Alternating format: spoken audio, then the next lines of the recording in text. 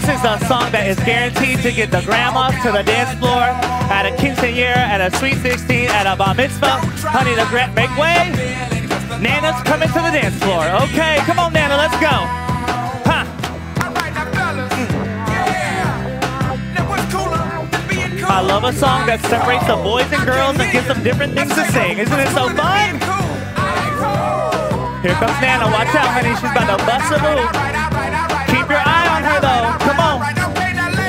That medical alert bracelet. We got to keep an eye on her, okay?